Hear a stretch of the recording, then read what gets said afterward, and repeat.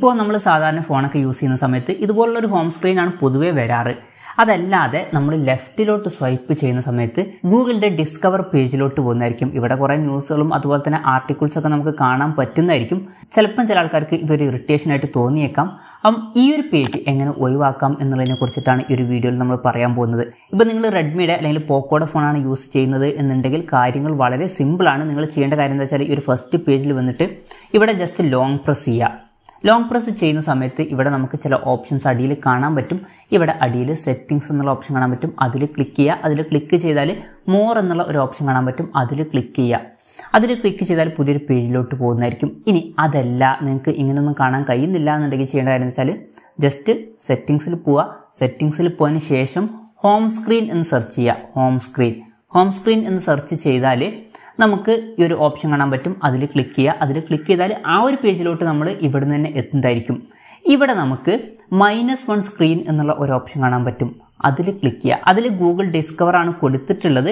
അപ്പം അത് നമ്മൾ മാറ്റിയിട്ട് നൺ എന്നുള്ളത് കൊടുക്കണം. നൺ എന്നുള്ളത് കൊടുക്കുകയാണെന്നുണ്ടെങ്കിൽ ആ ഒരു ഗൂഗിൾ ഡിസ്കവർ പേജ് പോകുന്നതായിരിക്കും. ഇനി ബാക്ക് അടിച്ച് നോക്കിയാൽ നമുക്ക് ആ ഒരു പേജ് ലെഫ്റ്റിൽ കാണാൻ പറ്റില്ല. സ്വൈപ്പ് ചെയ്യുമ്പോഴും ആ ഒരു പേജിലോട്ട് പോകുന്നില്ല. അപ്പം പോക്കോടെ അല്ലെങ്കിൽ റെഡ്മിയുടെ ഫോണാണ് യൂസ് ചെയ്യുന്നതെന്നുണ്ടെങ്കിൽ വളരെ സിമ്പിളായിട്ട് ഇങ്ങനെ നമുക്ക് ഇത് ഒഴിവാക്കാവുന്നതാണ്. പക്ഷേ പല ബ്രാൻഡുകളുടെയും ഫോണിൽ ഈ ഒരു ഓപ്ഷൻ കണ്ടോളണം എന്നില്ല. അങ്ങനെയാണെന്നുണ്ടെങ്കിൽ ചെയ്യേണ്ട കാര്യം എന്താ വെച്ചാൽ ഈ ഒരു പേജിലോട്ട് വീണ്ടും സ്ക്രോൾ ചെയ്യുക. സ്ക്രോൾ ചെയ്ത് കഴിഞ്ഞാൽ ഇവിടെ നമ്മുടെ പ്രൊഫൈൽ ബട്ടൺ കാണാൻ പറ്റും. അതിൽ ക്ലിക്ക് ചെയ്യുക. അതിൽ ക്ലിക്ക് ചെയ്താൽ സെറ്റിങ്സ് എന്നുള്ള ഓപ്ഷൻ കാണാൻ പറ്റും. അതിൽ ക്ലിക്ക് ചെയ്യുക. അതിൽ ക്ലിക്ക് ചെയ്താൽ ജനറൽ എന്നുള്ള ഓപ്ഷൻ കാണാൻ പറ്റും. അതിൽ ക്ലിക്ക് ചെയ്യുക. അതിൽ ക്ലിക്ക് ചെയ്താൽ ഡിസ്കവർ എന്നുള്ളത് ഓൺ ആയിട്ടായിരിക്കും കിടക്കുന്നുണ്ടാവുക. അത് ഓഫ് ചെയ്യുക. ഓഫ് ചെയ്ത് കഴിഞ്ഞാൽ നമുക്ക് ഇതിൽ ഒരു ന്യൂസും കാര്യങ്ങളൊന്നും കാണാൻ പറ്റില്ല. പക്ഷെ ഒരു കാര്യം എന്താ വെച്ചാൽ ആ ഒരു പേജ് അവിടെ അതുപോലെ കിടക്കുന്നുണ്ടാവും. പക്ഷെ അതിൽ ന്യൂസുകളൊന്നും ഉണ്ടാവില്ല.